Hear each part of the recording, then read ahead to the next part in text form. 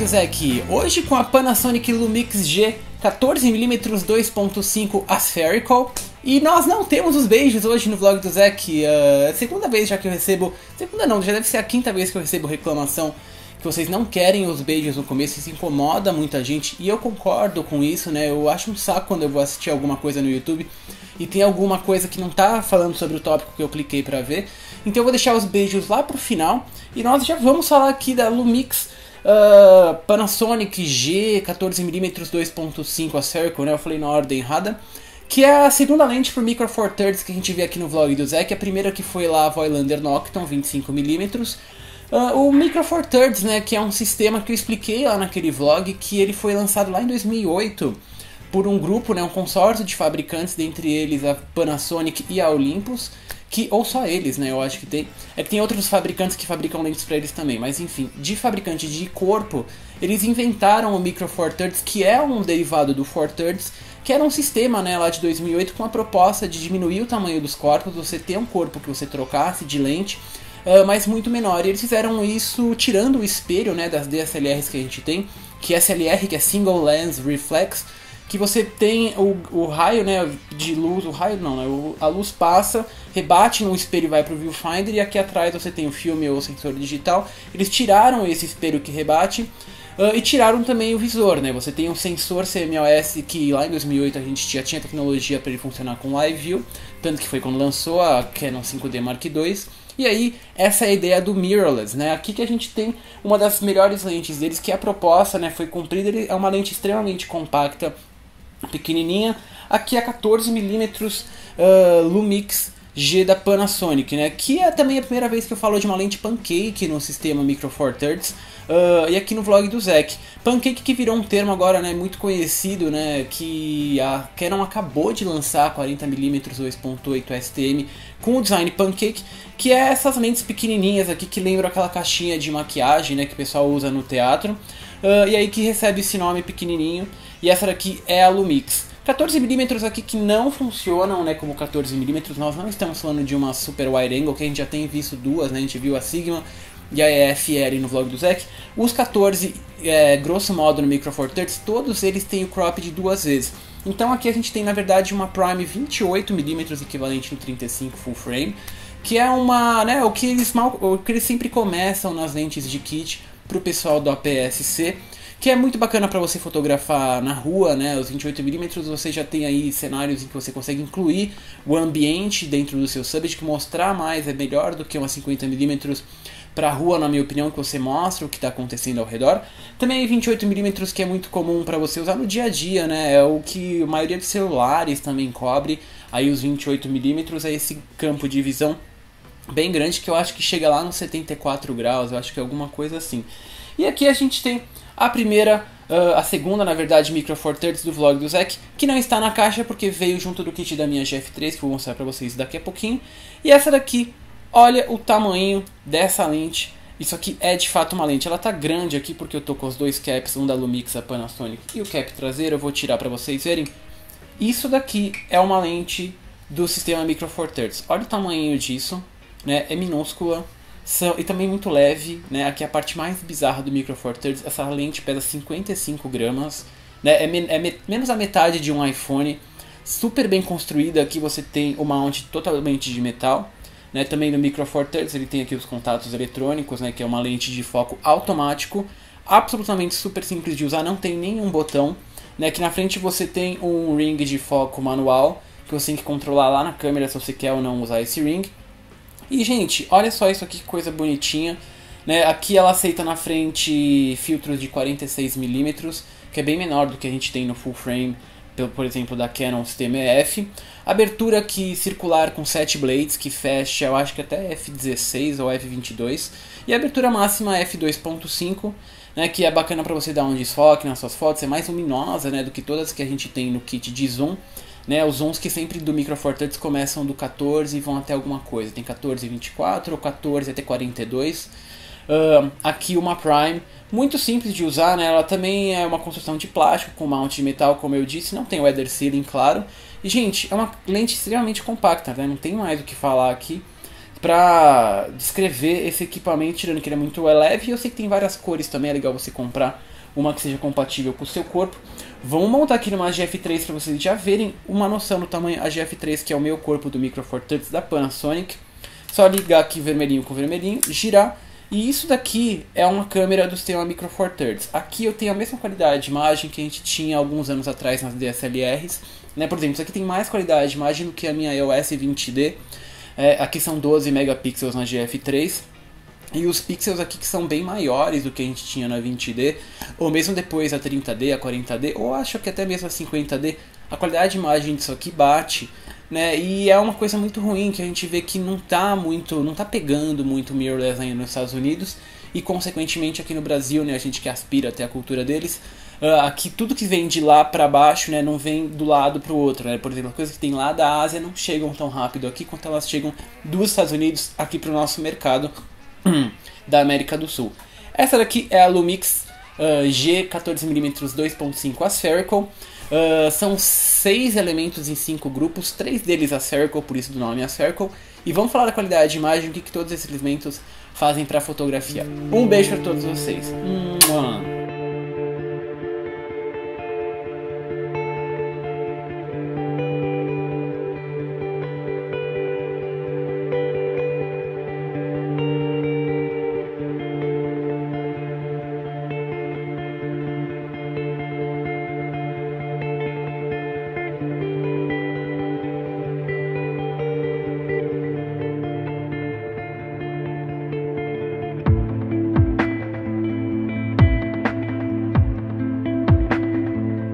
Bom, vamos falar aqui da qualidade de imagem da Panasonic Lumix G14mm 2.5 Aspherical, que é uma lente muito curiosa, né? O sistema Micro Four Thirds inteiro é uma coisa curiosa, porque como eu disse, ele não está pegando ainda aqui na América, uh, sendo que ele já tem quase 50% de mercado na Ásia, e muitas pessoas ainda não estão entendendo o que é capaz um corpinho desse, com uma lente pequenininha dessa, em relação à qualidade de imagem. Isso daqui bate com certeza qualquer kit da Canon, tá? Que eles montam, lógico, a T3i ou a, ou a T3, ou mesmo a 60D, ou até mesmo a 7D.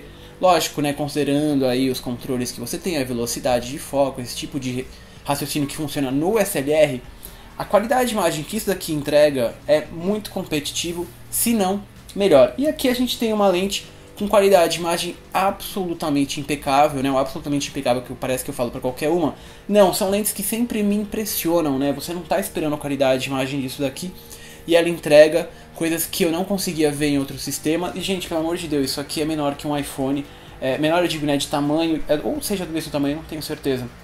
E cabe no bolso, é bem melhor do que carregar esses trambolhos que o pessoal compra, que eu digo T3i, T4i, T3. Esqueçam essas coisas. Isso aqui é absolutamente impecável. Começando lá na abertura máxima f2.5, né, você já tem resolução impecável, resolução impecável não, você tem a resolução máxima já no centro do quadro. Né, aqui a gente tem um sistema de crop duas vezes, ou seja, as lentes elas não têm que ser tão boas no corner, porque ele já vai cortar. Então a resolução mesmo em abertura máxima, chegando lá no, na borda dos frames, ela mesmo assim é, fechando só para 2.8, né, que é menos de um stop, ou mesmo F4, você vê pouca, é, né, pouco, pouco aumento na qualidade de imagem, porque mesmo a AirOpen ela entrega. É, um problema que eu senti muito nas imagens, mas que eu sinceramente é super fácil de corrigir via software, é o Chromatic Aberration é, no desfoque, né? Desfoque aqui que é uma coisa super difícil de conseguir, porque você já tem o fator crop de duas vezes de uma abertura 2.5, ela estaria equivalente a uma abertura 4 ou até abertura 5 mesmo no sistema 35mm. Então não é um desfoque fácil de você ver, então você também não consegue ver tão facilmente assim esse problema do Chromatic Aberration, que é uma mudança na cor na parte de desfoque que você vê na frente ou atrás do plano focal.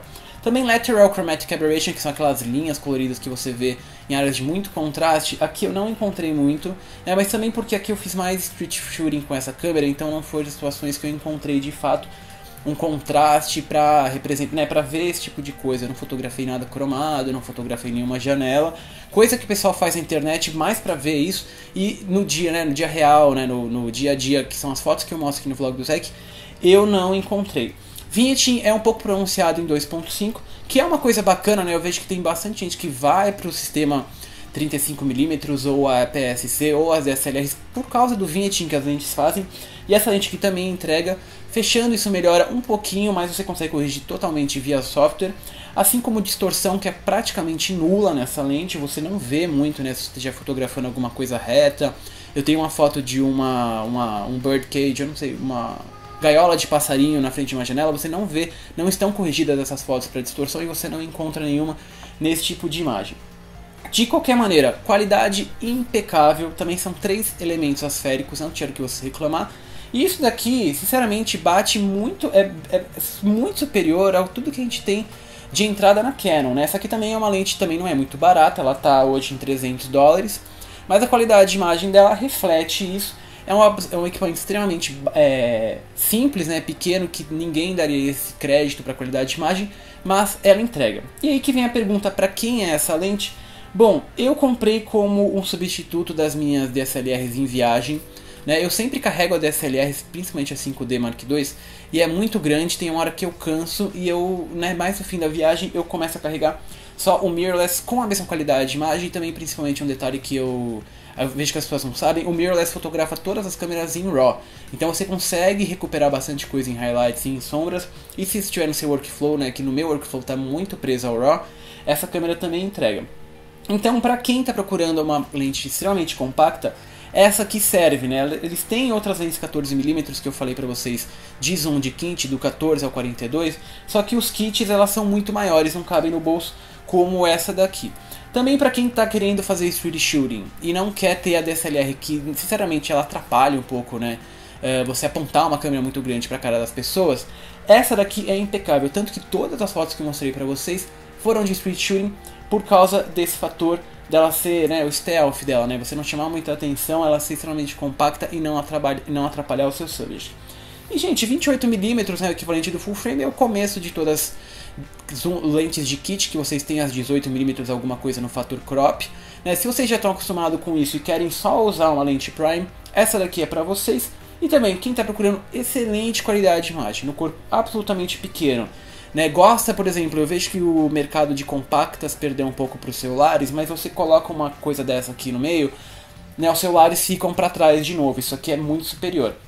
Então você que está procurando um corpo compacto, que precisa de uma lente pequenininha, luminosa, né? essa aqui é bem mais luminosa de qualquer um dos kits, essa lente é para vocês. E esse daqui foi mais um vlog do Zek falando Micro Four Thirds. Né? Espero ter deixado bem claro como eu sou, eu apoio muito esse Micro Four Thirds a gente já vê indícios de que a Canon vai apresentar um sistema desse e aí quem sabe aqui na América a gente consiga né, ter alavancar isso logo, né? Eu acho que é um problema tanto de publicidade dos outros fabricantes, ao mesmo um preconceito do pessoal com coisas menores, entendeu? Ou mais baratas. Né? O pessoal vai direto nas 33i, que é aquele trambolho grande, o pessoal acha que aquilo vai ajudar alguma coisa em qualidade de imagem e ajuda muito, mas isso aqui já, já chegou lá, entendeu? Isso aqui é competição né, acirrada que lá na Ásia a gente já tem 50% de mercado e talvez isso chegue para cá. Que eu falei da Canon, né? A Canon apresentou essa pancake.